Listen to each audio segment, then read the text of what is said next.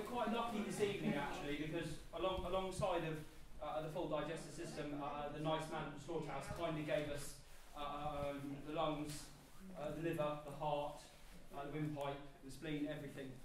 So uh, we get to see the whole lot. Um, so I'm going to do a little bit about digestion, how it relates to practical feeding.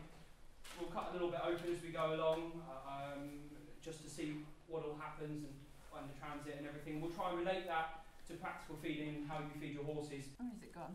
Yeah, lost it. Chopped it off. It's gone under here. First part, the duodenum, which is the smallest part, only about a metre, metre and a half long. And then what we see here is mainly made up of the jejunum, which is 25 metres long. If we were to cut, if we were to cut this off and spread it out, it was easily spread around here, around the corner, uh, in one straight line. And in here are billions and billions of microorganisms, bacteria that start the third stage and quite possibly the most vital stage uh, of digestion, which is the microbial stage.